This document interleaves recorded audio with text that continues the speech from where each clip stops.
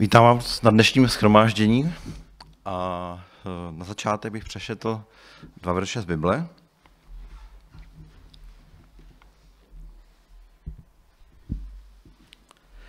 Já jsem vzkříšení i život, řekl Ježíš. Kdo věří ve mně, i kdyby zemřel, bude žít. A každý, kdo žije a věří ve mně, nezemře na věky. Věříš tomu? Ano, pane, odpověděla. Já jsem uvěřila, že ty jsi Mesiáš, Boží syn, který má přijít na svět. Můžeme začít zpívat píseň 63. Svatý, svatý, Pán Bůh všemohoucí.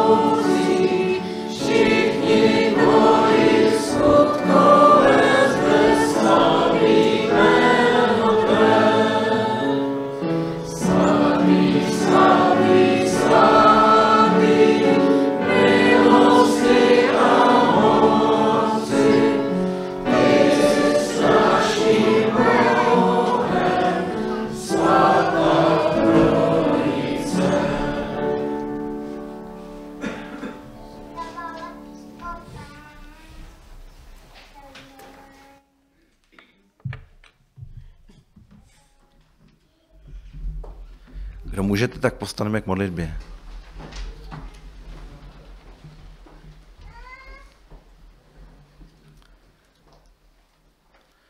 Pane náš svatý, všemohoucí, děkujeme ti za novou možnost se sejít eh, ve tvém jménu. Děkujeme ti za eh, všechny velké věci, které jsi pro nás učinil. Děkujeme ti za eh, tvé dílo na Golgatě. Děkujeme ti za to, že si nás zachránil a že tomu můžeme věřit. A tak ti děkujeme za to, že tady dnes můžeme být. Děkujeme ti za tu svobodu, kterou máme. Děkujeme ti za všechno, co bereme z tvé ruky a tak tě prosíme i za ty, kteří tady dnes nemohou z jakýchkoliv důvodů být, aby si i je potěšoval a byl s nimi. A tak tě prosíme o dnešní přítomnost zde. Amen.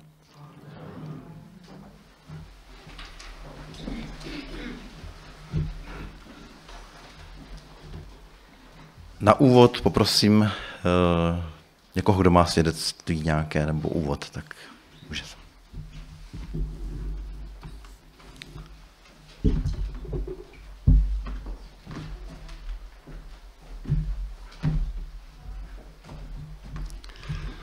Dobrý den, jsem na řadě. V týdnu se mi stala taková věc, že jsem eh, něco fušoval v garáži a eh, řezal jsem úhlovou bruskou.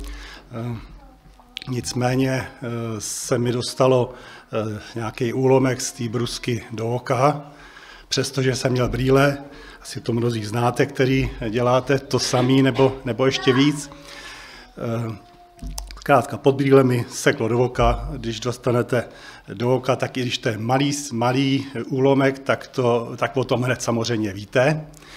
Eh, to se nějak nedařilo vyplavit, eh, ani vymnout, takže jsem s tím zůstal. Eh, druhý den v noci se to nějak ozývalo, druhý den ráno jsem se vypravil k doktorovi, trochu jsem se lepší oblíknul, abych tam nestrašil, že, že půjdu k doktorovi. Nicméně eh, za chvíli eh, v tom zařezalo eh, silně, jak se to asi pohlo a přestalo to, tak se to přes den uklidnilo, tak jsem zjistil, že k žádnému doktorovi nemusím. Ne, že by se kvůli tomu musela v průjezdu dát pozlacená cedule a e, označit to jako za poutní místo tady, ale vnímám to jako určité e, boží požehnání, třeba i odpověď e, na to, co nám tady bratr kazatel svolává každý jeho schromáždění při konci, tak to vnímám jako takové boží požehnání.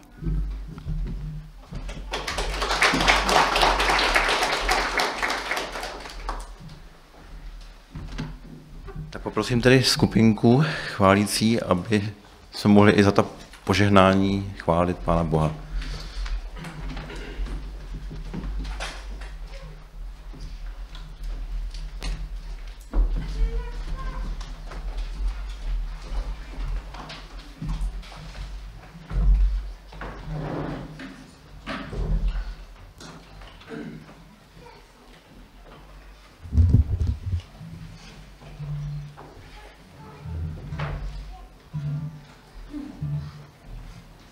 Dnešní první chvála dětská pro velkého, pro malého.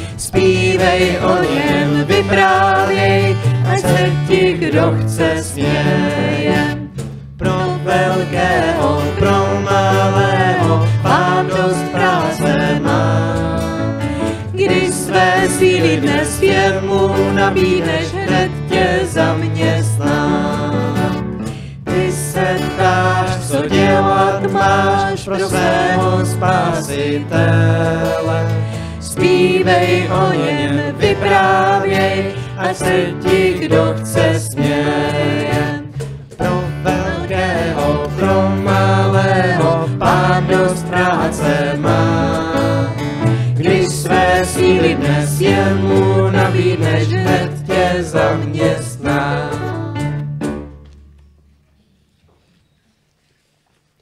Je stále přítomná tvoje sláva.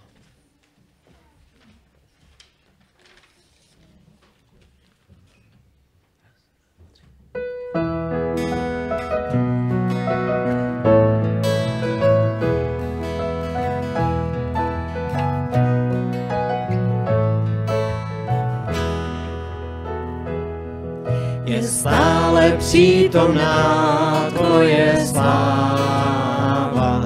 Radostně zpíváme o tvém díle, písnička ať zvoní každé chvíle. Já tě chválím, pane můj, jak jenom umím. Všechno, co se kolem nás děje, význam má. Stromů růst v ovocích, nádherný má cíl, jak je báječné znát, i smysl našich dní, jak je fajn, že život náš může mít svůj cíl. Stále přítomná tvoje sláva, radostně zpíváme o tvém díle. Písnička ať zvoní každé chvíle, já tě chválím, pane můj, jak jenom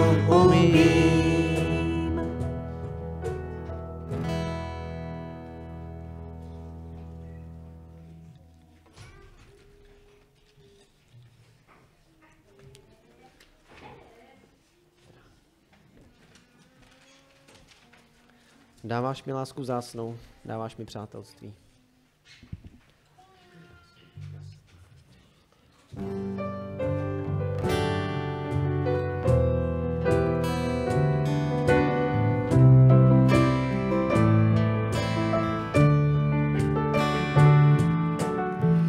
dáváš mi lásku vzácnou. Dáváš mi přátelství, má teď touhu jasnou. Jít na tvé nádvoří, chválit tvé svaté jméno, přebývat v tvých hlubinách, v srdci mít lásku tvou, jenom snížit, chválit tvé svaté jméno, přebývat v tvých hlubinách, v srdci mít lásku tvou, jenom snížit.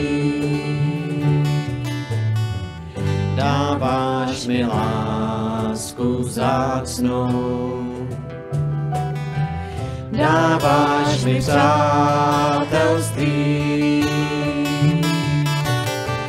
Vždyť mám teď touhu jasnou, jít na tvé nádvoří, chválit tvé svaté jméno, přebývat v tvých hlubinách, srdci mít lásku tvou, jenom sníží, chválit tvé svaté jméno, přebývat v tvých hlubinách, srdci mít lásku tvou, jenom snížit. Dáváš mi lásku vzácnou.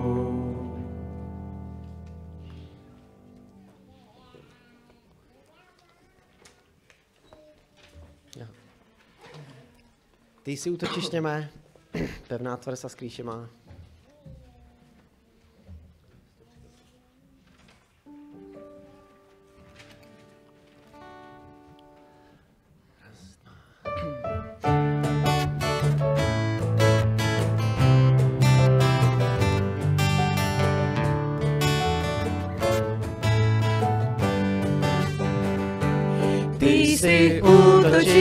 Mé, pevná tvrz a skrýše má, ty jsi pane mé spasení. Ty jsi útočiště mé, pevná tvrz a skrýše má, ty jsi pane mé spasení. Hospodine, ty jsi život můj. Zní teď vůle tvá. Veď mě, pane, tvojí stezkou, já si dám ti všechno, co sám mám, tady jsem a vyznávám, vyznávám, že ty jsi útočiště mé, pevná tvrz a skrýše má, ty jsi, pane, mé spasení. Ty jsi útočiště mé, pevná tvrz a skrýše má, ty jsi, pane, mé spasení. Přichází z tvých tvář ve dlaních tvých, tam, kde tiše zní tvé, mám tě rád. Když ti zpívám svoji píseň, bereš každou tíseň na svůj kříž, poznání vždy přicházíš, přicházíš, vždy ty jsi útočiště mé, pevná tvrz a skrýše má, ty jsi, pane, mé spasení. Ty jsi útočiště mé,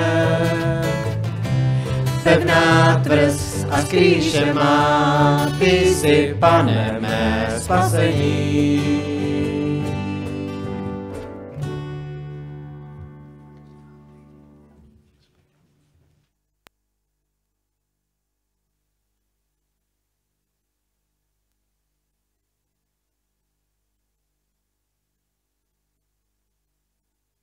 Teď popro... Jo, ještě složí.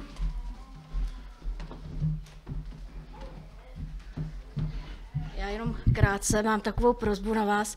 Eh, Zítra naše Eliška bude na plánovanou operaci pupeční kýly, a tak bych vás moc prosila, abyste na ní mysleli na modlitbách. Děkuju.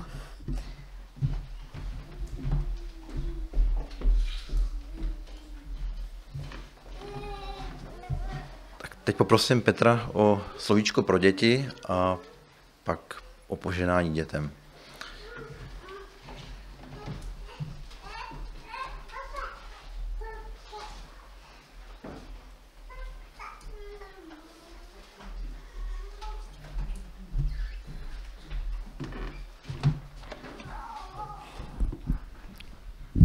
Dobré ráno. Já bych vám dětem, ale i těm větším dětem chtěl říct něco malinko ze včera. Eh, Toto je mapa. To je mapa, kde jsme včera vedli takzvanou indiánskou válku a eh, bojovali jsme, myslím, že všichni oba, dva oddíly statečně, Broďáci sice totem uhájili, ale Krupa zvítězila na body 3-1, protože dobila všechny tři vlajky, které tam byly poskované a na ten totem už se jim nedostalo tolik času. A možná, že tam můžeme podívat ještě na nějakou krátkou, to jsou vysvětlování pravidla, které byly zase trochu jiný než jindy a to je vlastně před vypuknutím války. Tak to, a to je potom občerstvení, takže kdo jste tam byl, tak víte, že eh, prasátko bylo velmi dobré. Tak já bych poprosil, jestli by to mohl eh, Dáně vrátit na tu mapu. A já, jsem chtěl mluvit jenom děti. Víte, víte, že to je mapa? Dovedete se podle ní orientovat? Mapu potřebuje každý člověk, aby došel do cíle. Eh, tou mapou. Já jsem například neměl tu mapu, tak jsem na, tam na dvojce byla vlajka a já to vůbec, prostě jsem tu vlajku nemohl najít. Když už jsem to místo našel, tak ta vlajka už tam nebyla. A já jsem neměl mapu a pak jsem si nechal poslat takhle do mobilu mapu. A když jsem tu mapu měl, tak už jsem dokonce věděl, kde je i ta trojka. A hned jsem se orientoval líp i v tom lese. A aby jsme se orientovali líp v životě, tak potřebujeme taky mapu, potřebujeme mapu života. Eh, Bible je taková naše mapa. A v té mapě eh, vlastně je tady napsáno, že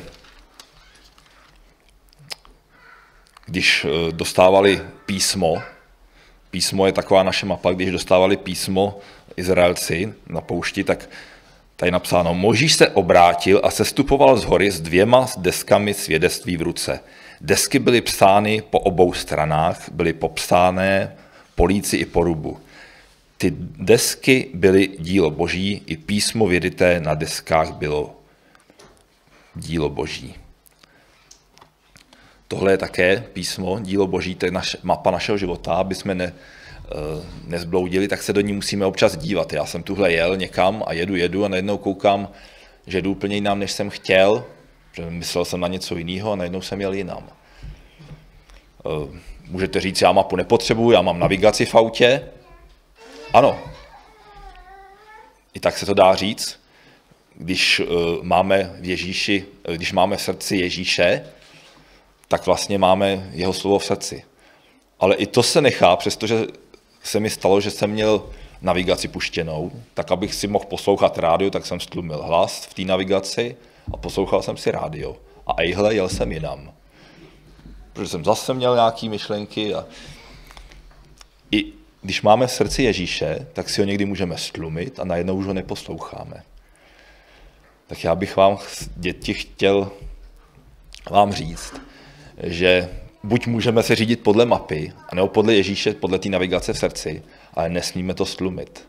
Nesmíme ten hlas vymazat, nesmíme to mm, někam, ať nás to neruší. To se taky nechá i z navigací udělat. Tak děti, pojďte sem, já bych se za vás chtěl modlit, aby, než půjdete do besídky, abyste tu mapu, kdo chce, používali abyste vždycky věděli ten správný směr, nejen k těm vlajkám, ale i k tomu totemu, abyste tam vždycky došli.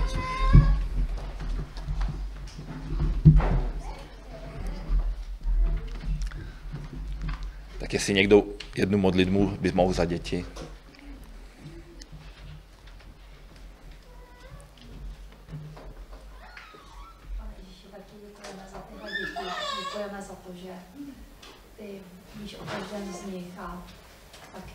Prosíme za to, aby si jim žehnal. Amen. Amen. Tak já ti, pane, děkuji za děti, které tady máme. Děkuji ti za z nás velký děti, za to, že nám nabízíš eh, svoji mapu života, eh, tvé písmo, že ty nám nabízíš být navigací v našem životě i v našem srdci a prosím tě, aby jsme poslouchali tvoji mapu a, a poslouchali tebe ve svém srdci, aby jsme tě nechtěli přehlušit nějakými mm, nesmysly. Amen. Tak můžete jít do besídky. A ty, kteří tady zůstanou, tak můžete poslouchat.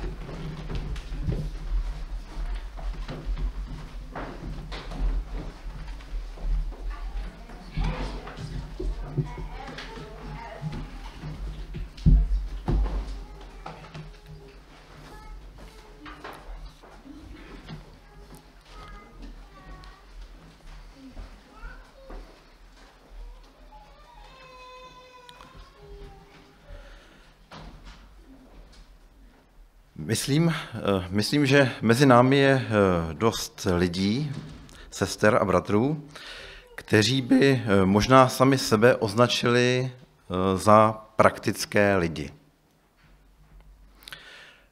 Nebo by si dali nálepku pragmatik. A možná, možná jsou na to i hrdí. Myslím, že praktického člověka můžeme označit jako takového, který dělá to, z čeho má sám a třeba i druzí lidé užitek. Dělá to tou nejpřímější cestou, eh, za co možná nejmenších nákladů a eh, moc nedá eh, na nějaké sáhodlouhé řeči a filozofování. Nevím, jestli se mnou souhlasíte. A důležitá je pro něj také rychlost. Eh, než se druhý nepraktický člověk stačí vymáčknout, on už má pomalu, ale co to povídám, eh, vlastně rychle. Rychle, hotovo. A je, je se svou prací a se sebou spokojený. Myslím, že takový praktický křesťan si v pracovním poměru a dalších fyzicky laděných situacích životní praxe dobře rozumí s praktickým nekřesťanem. Eh, a s nevěřícím pragmatikem podobného ražení. Asi si dokážu představit pracovní soužití praktického křesťana a praktického nekřesťana.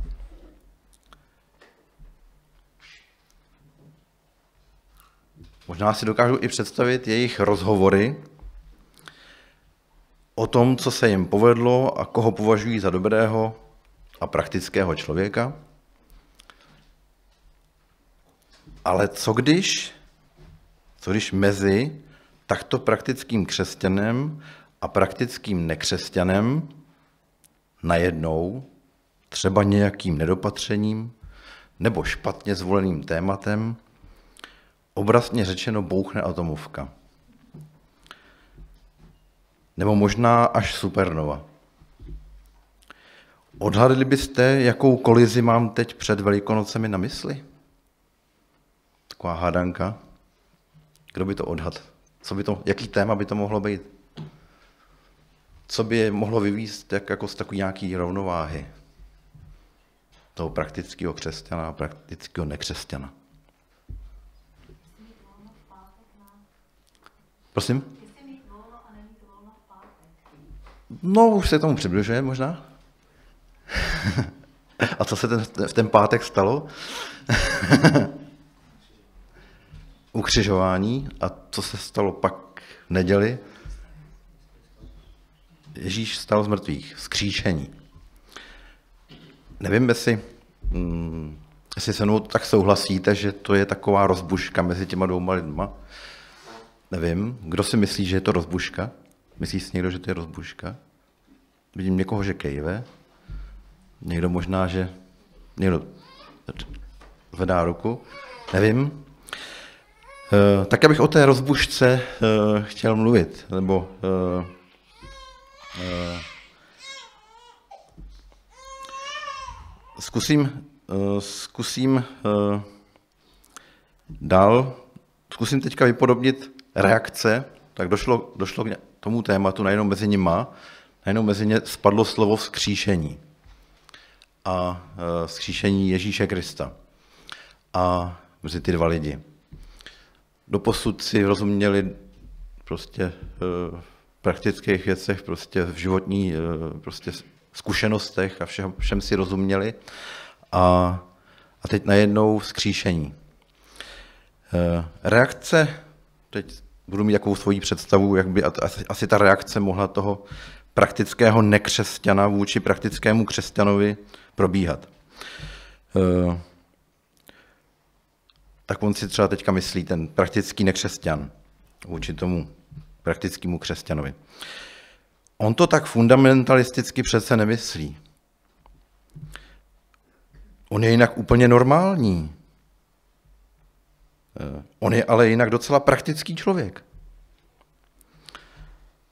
On je jinak rozumný člověk. No, nikdo nejsme dokonalí. No, musím ho brát takového, jaký je. A nebo si to třeba myslí. No, vždy ty různé, ty různé křesťanské aktivity, jako je charita, křesťanská sociální péče, jsou pro společnost prospěšné tak mu přece kvůli tomu vzkříšení nebudu nasazovat psí hlavu. No, je to zvláštní, tak rozumnej a praktický a takhle zatvrzele zabedněný. Vždyť je to do nebe volající nesmysl, skříšení. Kdo to kdy zažil a viděl? tak takhle třeba může uvažovat ten, ten, eh, ten praktický nekřesťan. A teď zase reakce toho praktického křesťana, když to mezi nimi bouchlo a kříslo. No, teď jsem to asi zbytečně vyostřil. No, jednou jsem mu to musel říct o tom vzkříšení, že v to věřím. No, vždyť se z toho nestřílí. No pro mě samotného je to těžké vzkříšení rozumem pochopit. Prostě tomu věřím. Jak já mu to vysvětlím? Pojďme radši něco dělat. Tak tady bych to předošel a můžeme zpívat píseň 191. Píseň 191 z kancionálu.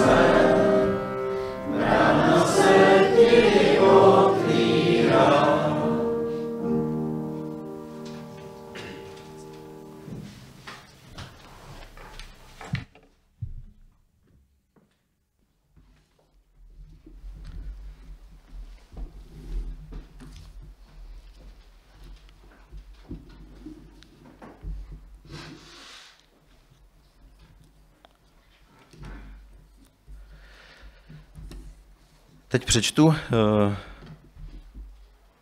z Bible, z Nového zákona, eh, reakci možná taky prakticky, praktických a vzdělaných lidí v Řecku na skříšení. Je to ve skutcích 17. kapitola 29. verš.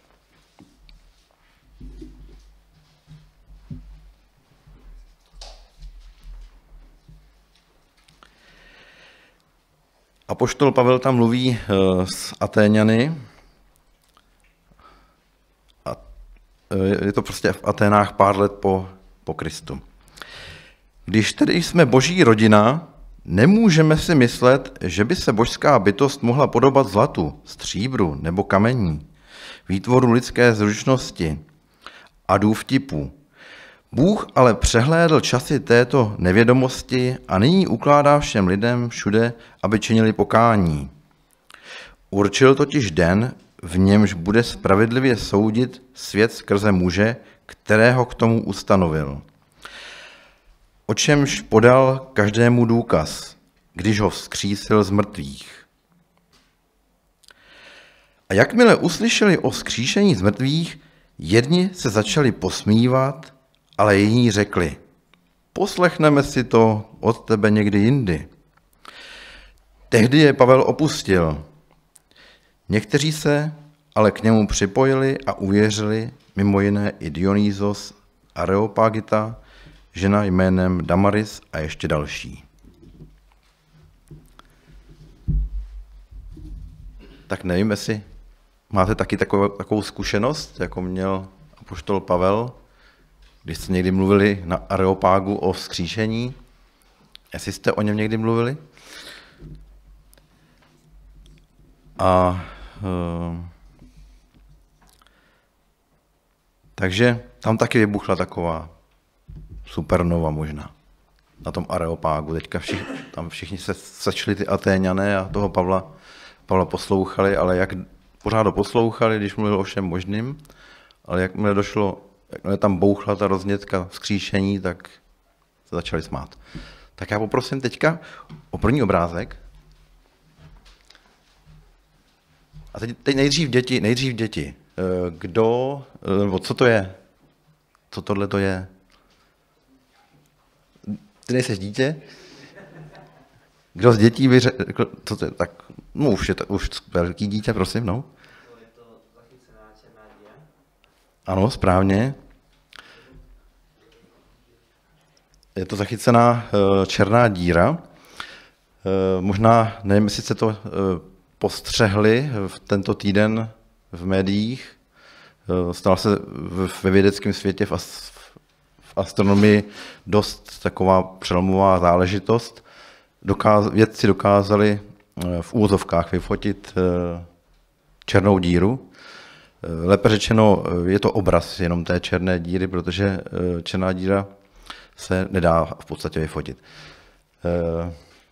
Použili k tomu radioteleskopy po celé, po celé země kouly a vlastně to nevyfotili jako normálně dalekohledem optikou, ale Eh, radioteleskopama a pak pomocí nějakého algoritmu to převedli v tenhle ten obraz. Eh, taky tomu moc dobře nerozumím, ale ve zkratce to tak nějak je. A eh, to, co vlastně vidíme kolem té černé tý černý díry, tak je vlastně zhluk všelijakých částic, plynů a takových, který tam vlastně do té díry padají, by se dalo říct a je to vlastně vyfocený jenom takzvaný horizont událostí. Není to vyfoc... tu černou díru, vlastně to, co vevnitř je, to, co tam všechno spadne do té černé díry, vlastně nikdo nemůže zatím vidět, protože tam odsaď se ani nedostane světlo. Tak to je jen tak e, laicky řečeno asi. Teď poprosím druhý obrázek. Tak takhle si dřív kreslíři představovali, jak, jak může černá díra vypadat. A teď už nastal právě ten přelomový okamžik, kdy už máme tu, tu eh, ve vědě, kdy už máme tu eh, černou díru, jakoby aspoň nějaký jakýsi obraz. Tak zatím můžeme tam nechat, můžeme, můžeme přepnout na tu, na tu, na tu na ten pravdivější obraz tam přepnout třeba.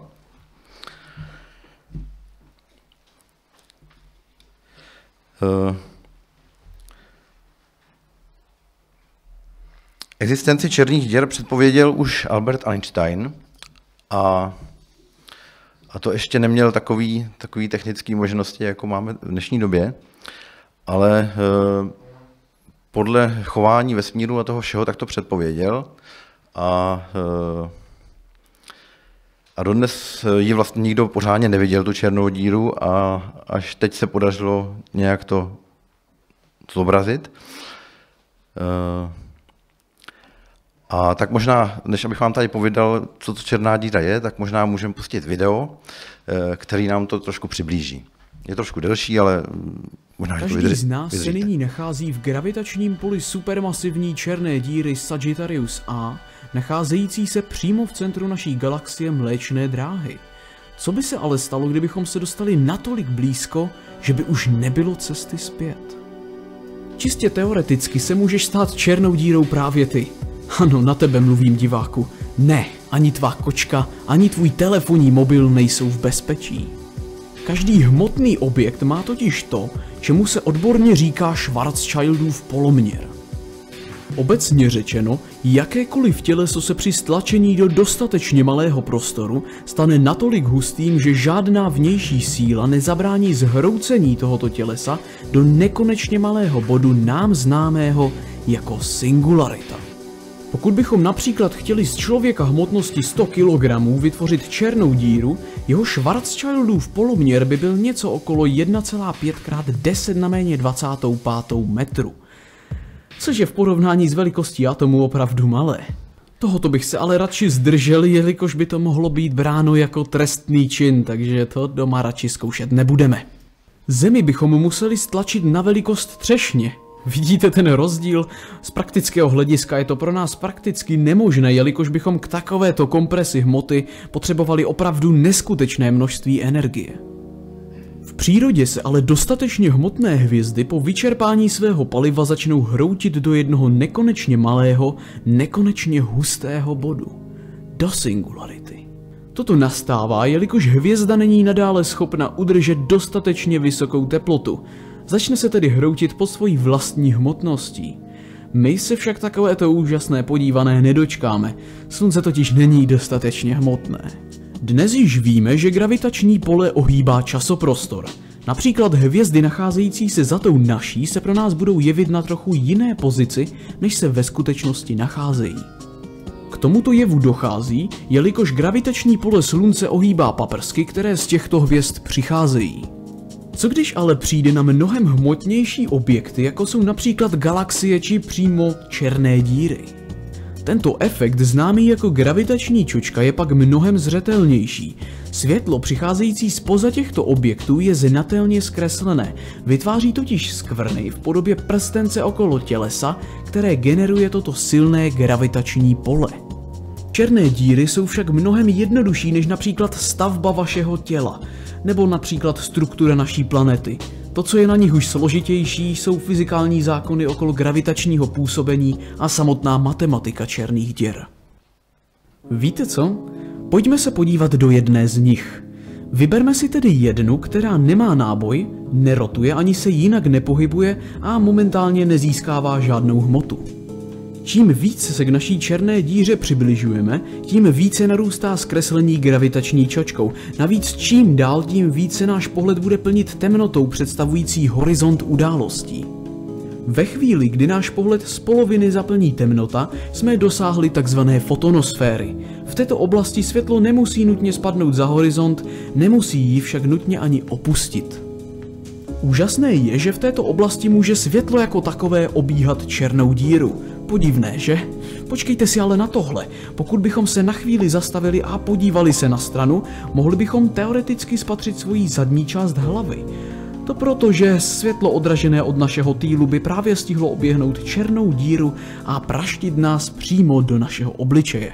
Docela nepříjemné, ale věřte, že to není jediná nepříjemná věc, která nás dneska ještě čeká. Jak už již víme, gravitační pole neohýbá pouze prostor, ale také čas. Pozorovatel na blízku naší černé díře, který sleduje náš výlet za horizont, by spatřil něco poněkud podivného. Neviděl by nás spadnout do díry přímo, namísto toho by nás viděl při přibližování neustále zpomalovat až do chvíle, kdy se úplně zastavíme. V tomto okamžiku jsme dosáhli horizontu událostí. Tento horizont má podobu sféry, která obklopuje nekonečně malý bod, tedy singularitu. Při překročení této hranice už není cesty zpět, to znamená, že nic dokonce ani světlo neopustí tuto oblast. Pokud bychom chtěli tímto horizontem projít živí, aniž bychom byli roztráni ve smršti jednotlivých atomů ještě před vstupem, což my tedy opravdu chceme, tak naše černá díra musí být dostatečně velká jelikož čím je díra větší, tím více se její gravitace rozptyluje do prostoru. Pozorovateli se tedy budeme jevit jako zmrazení v čase a prostoru, přičemž postupně přicházející světlo z našeho těla podlehne narůstajícímu červenému posuvu a stane se tak brzy neviditelným. Stručně řečeno, náš obraz by postupně zmizel v nicotě. Sice nás nikdo nemohl spatřit procházet horizontem událostí, naše cesta však při troše štěstí pokračuje dál. Eh, sice do záhuby, ale to je teď jedno. Pokud nás doposud nespálila fotonosféra a dostali jsme se za horizont živý, pak jsme na tom opravdu dobře. Máme totiž ještě pár hodin života. Díky neustálému přibližování singularitě se i pro nás stane díky rudému posovu naše tělo postupně neviditelné a to nepotřebujeme ani kouzelný plášť. Navíc se v důsledku slapových sil naše tělo postupně natáhne v procesu tzv. špagetifikace. Ano, vědci umí být velmi kreativní. Jelikož na naše nohy působí gravitace mnohem silněji než na naši hlavu, budeme se natahovat jako poloniská špageta až do chvíle, kdy je naše tělo roztrháno na jednotlivé atomy. Přesně o těchto nepříjemnostech jsem předtím mluvil. Ještě předtím však za sebou budeme moci vidět neustále se zužující a smršťující pohled na vesmír, který se postupně zmenšuje a zmenšuje do bodu v prostoru za námi, až nakonec neuvidíme z hola nic. S jistotou nikdo neví, k čemu dojde při dosažení singularity. Pravděpodobně nastane zmizení v porušení veškerých zákonů fyziky. Nebo ne? Z teoretického hlediska se můžeme také ocitnout na úplně jiném místě ve vesmíru, nebo dokonce ve vesmíru jiném. Všeobecně se věří, že pohybující se či rotující černé díry mohou spojovat dvě různá místa ve vesmíru nebo dokonce ve dvou odlišných vesmírech.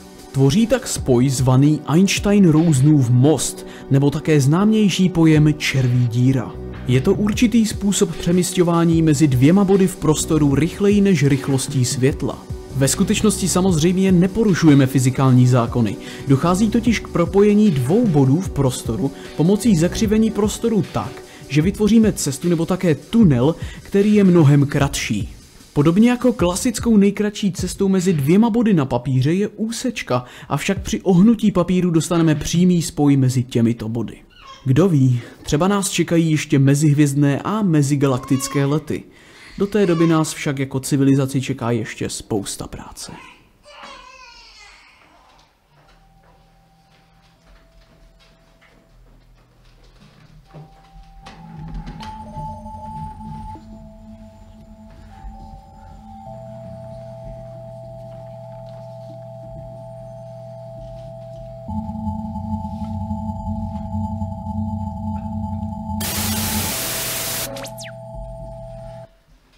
Tak uh, úplně, se to, úplně se to všechno nedá pochopit. A v tom videu i bylo řečeno, že vlastně uh, to nikdo ani tak nějak tomu vlastně moc nerozumí a, a je to úplně, je to úplně, je to úplně za hranicí možností to nějak pochopit. A ale eh, co jsem asi tak pochopil, tak, tak eh, jak jsem s svým omezeným chápáním pochopil, tak podle vědců jsou černé díry hvězdy podobné našemu slunci, které nejdřív explodovaly, pak se eh, do sebe zhroutily a takto nahusto smrštěná hmota má velkou gravitaci, přitažlivou sílu. A vše, co je normální hmotou, pokud se k černé díře přiblíží, tak blízko, tak tak blízko, že bude eh, na horizontu událostí, takzvaného horizontu událostí, na kraji černé díry, tak černá díra pohltí. Eh, můžeme se černých děr bát, A nebo také můžeme být zvědaví na to, co v sobě skrývají. Eh, pro mě to slovo horizont událostí je takový poetický spojení. Horizont událostí. Eh, budu, někdy ho, teď budu dál pokračovat a použiju ho někdy, takže eh, snad to bude srozumitelné. Proč zde mluvím o černé díře? Situace s černou dírou mi připomíná situaci se vzkříšením. Tak jako existence černých děr, ač je nikdo ještě nemohl pozorovat pořádně, bylo předpovězeno i vzkříšení. Tak už Albert Einstein někdy na začátku století to předpověděl, že jsou černé díry, aniž by, jsme, aniž by je viděl nějak, nebo tak jako černá díra ovlivňuje dění okolo sebe, tak i vzkříšení ovlivňuje lidi, kteří se ke vzkříšenému Ježíši přiblíží. Tak jako radioteleskopický obraz ukazuje, že černá díra není jen nějaký tunílek, ale je to velké monstrum, do kterého se vejde několik miliard našich sluncí, tak i vzkříšení je něco velkého, co ovlivnilo a ovlivňuje miliardy lidí. Tak jako tato černá díra denně pohltí a rozcupuje hmotu několika našich zeměkoulí, tak vzkříšený Ježíš pohltí a rozcupuje svojí láskou množství představ lidí, které měli o svém životě, dokud se neocitli na Ježíšově horizontu událostí.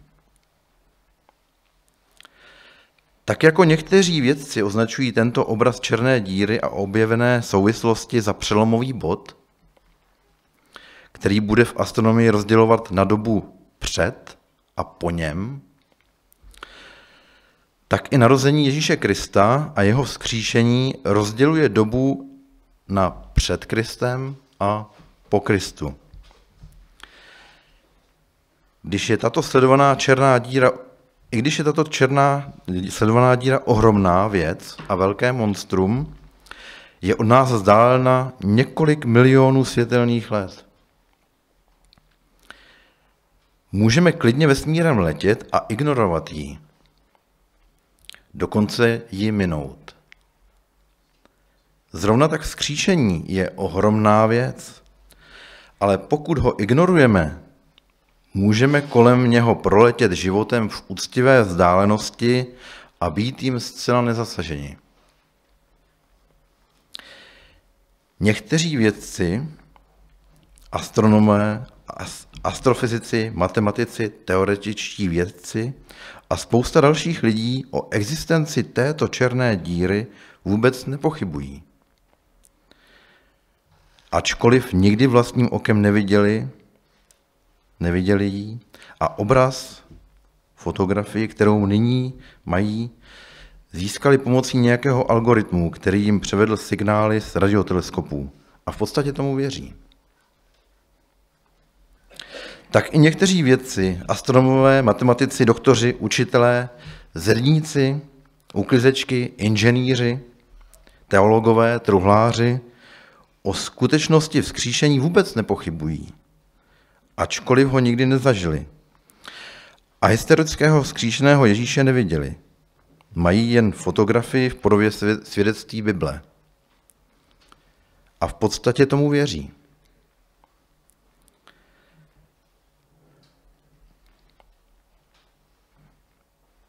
Tak jako existence a fungování černé díry je pro člověka nepochopitelné a s pozemskou realitou naprosto neslučitelné, tak i vzkříšení je naprosto nepochopitelné a s lidskou realitou a zkušeností naprosto neslučitelné.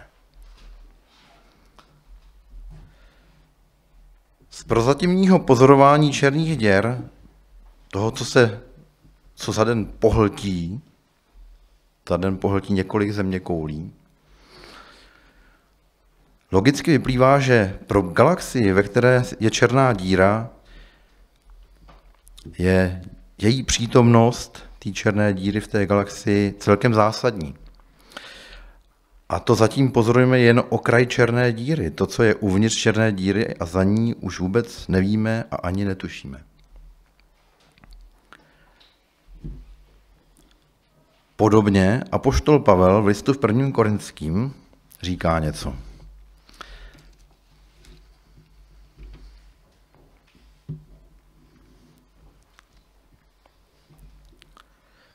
Korinským 15.20.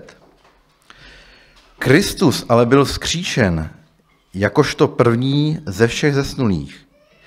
Jako skrze člověka přišla smrt, tak skrze člověka přišlo zmrtvý stání. Jako v Adamovi všichni umírají, tak v Kristu všichni ožijí.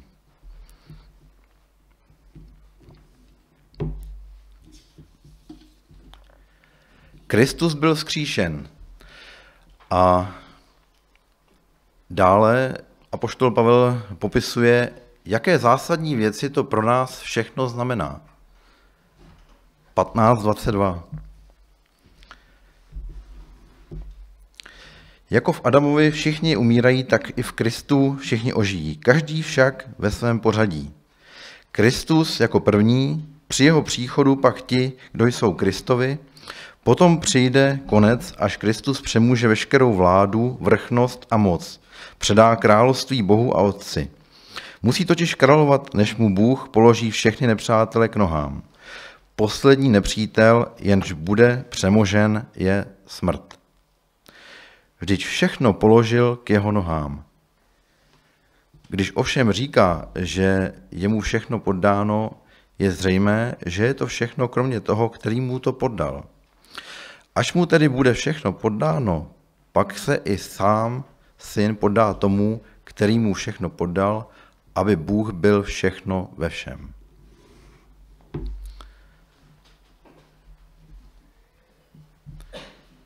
Je to pro nás také úplně dost nepochopitelné, možná, možná to někdo kápete, pro mě to je všechno, pro mě to je dost, eh, když jsem tady v té realitě, v té praktické realitě.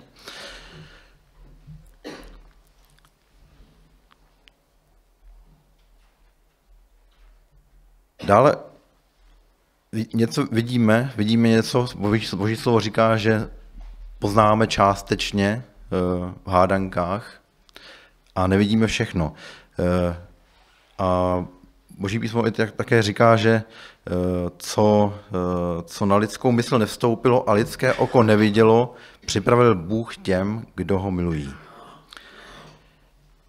Jedním z cílů dnešního kázání bylo uvědomit si, že skříšení Pána Ježíše Krista není jen nějaká okrajová záležitost dobrého křesťanství ale že je to zcela zásadní skutečnost.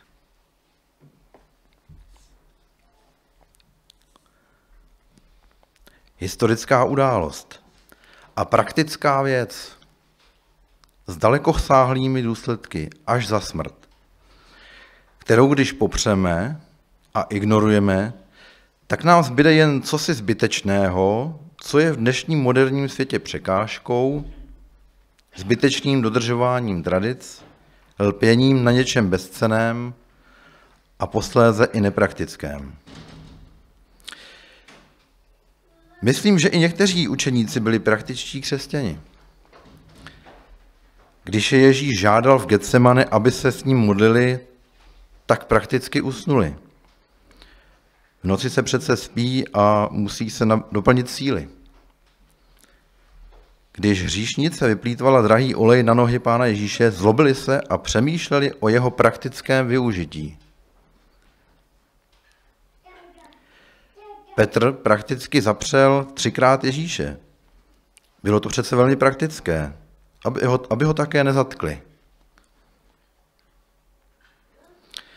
Nakonec výzva.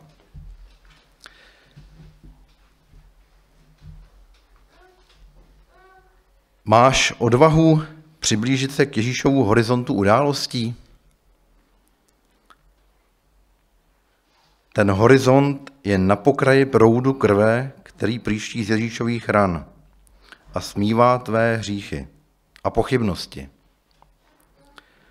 Strhává tě do krve pádu, který teče z Golgoty a rozcupovává tvoje všelijak pokřivené a deformované představy o životě. Veškerá transformace probíhá jeho láskou, aby spolu s ním byl skříšen. Protože nikdo nemá větší lásku než ten, kdo položí život za své přátelé.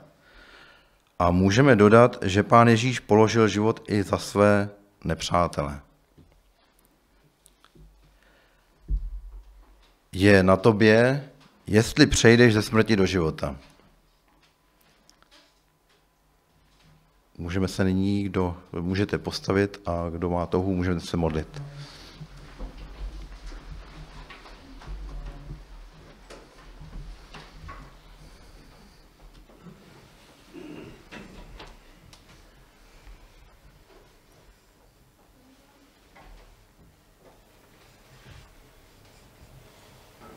Děkujeme ti, pane Ježíši Kriste, za to tvé slovo, které jsme mohli uvěřit, že ty jsi živý pán, že jsi byl zkříšen. Děkujeme ti za tu velikou milost, která se nám dostala.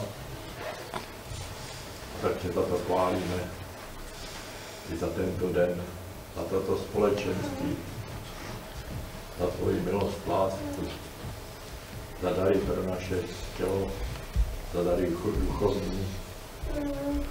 Děkujeme ti za čas milosti. Prosíme to, aby si nás posiloval ve víře, dával nám moudrost, tvé požehnání do těch dalších chvil. Prosíme i za všechny ty, kteří mezi námi nemohou být. Zvláště prosíme i za nemocné, kteří k tobě zlížejí o pomoc, o uzdravení, o sílu, o té žehnání. Tak do tvých chceme všechno klást na očekávání na tvoji přítomnost v těch našich životech. Amen.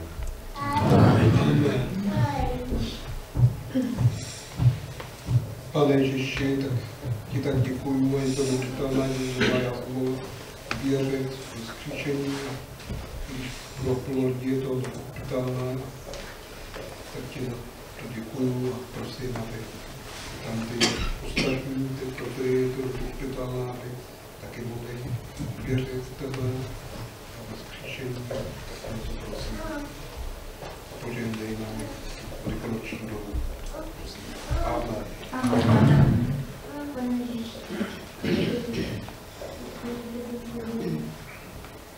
Pane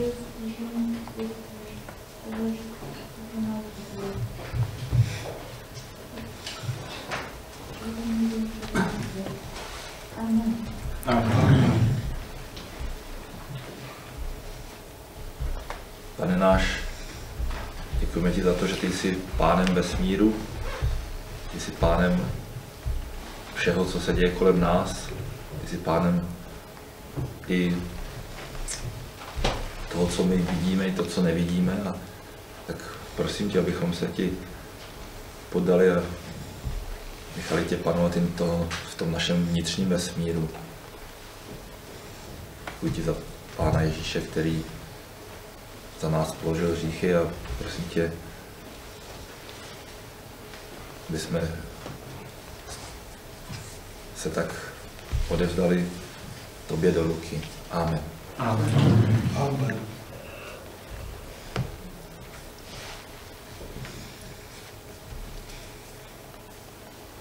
Pane, tak bych chtěl tak připojit i modlitbu za malou Elišku, která má před sebou tu operaci.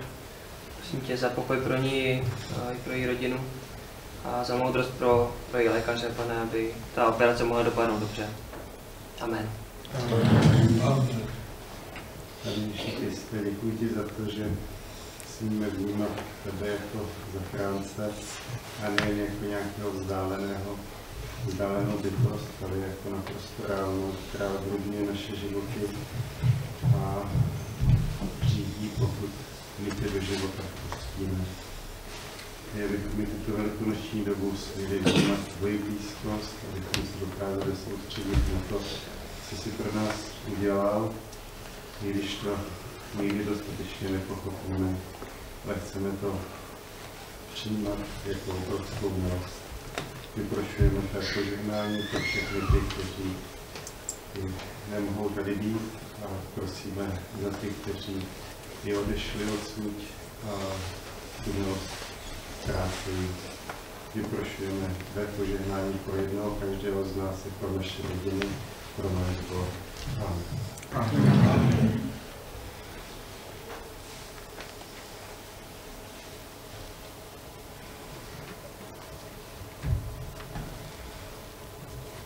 Pane náš, děkuji ti za to, že eh,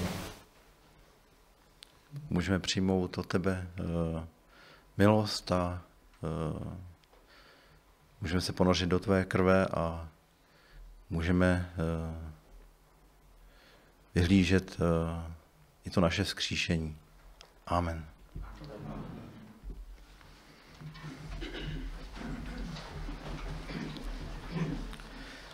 Můžeme zpívat píseň 321.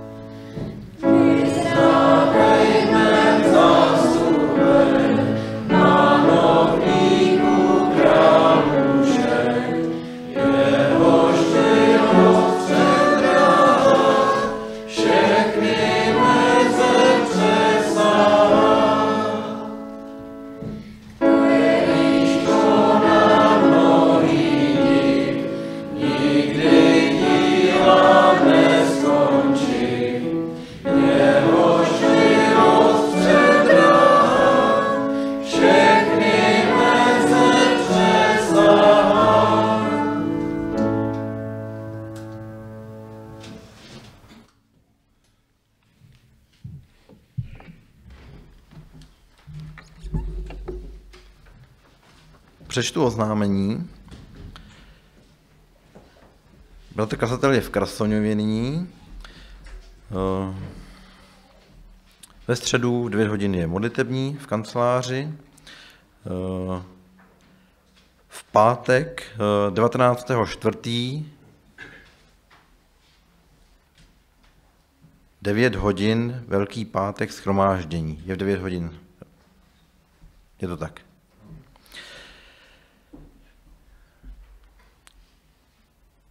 20 hodin uh, mládež, v sobotu 17.30 Crossroads. Uh, v neděli v 9 hodin velikonoční neděle a v 11 hodin bude zase v Krasoňově kazatel a od 15.4. do 21.4. týden modliteb v HBCB vys plakát 19. Velký pátek, večeří páně, do hodin, to už jsem říkal. 23.4. bude staršovstvo, 18.30 hodin. 28.4. návštěva v Benátkách, CB. Přihlášení, seznam asi někde vysí,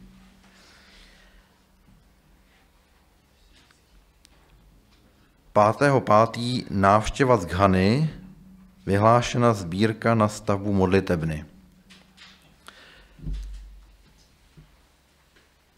Tady ještě nějaké při, eh, při, při, pozor, při parkování před sborem v neděli a ve čtvrtek prosím respektujte dvě místa pro invalidy u vchodu do modlitevny. Už jsem si tam všiml nějaké označení. A e, narozeniny slaví Barta Jáchym 15.4. a Trachtulec Jakub 24.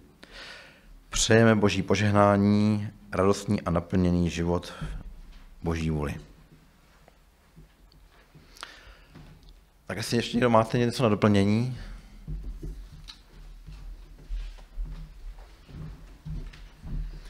Tak ještě jedna akce, že 21. v neděli velikonoční bude v 17 hodin promítání toho filmu, o kterém jsem mluvil. Prosím vás, vy, kteří máte malé děti, který byste potřebovali během promítání hlídat, a tak se mi nahlašte po schromku. Dole bychom jim pustili nějaký pohádky nebo nějaký prostě příběhy tam na televizi, aby byly zabaveny. Takže se mi prosím vás nahlašte. Díky. Tak jestli ještě někdo máte nějaké oznámení, asi je to všechno.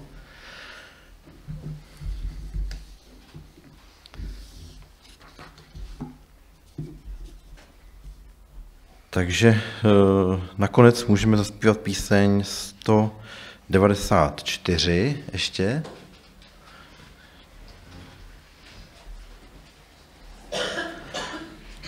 A aby toho nebylo málo, tak ještě přečtu takový úryvek eh, z brány, nebo úryvek z takového uh, uh,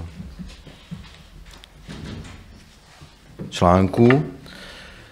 21.2.2018 ve věku 99 let zemřel Billy Graham. Před mnoha lety prohlásil, jednoho dne uslyšíte, že Billy Graham zemřel. Nevěřte tomu. V ten den budu živější než kdy předtím. Pouze jsem změnil adresu. Můžeme zpívat píseň 194.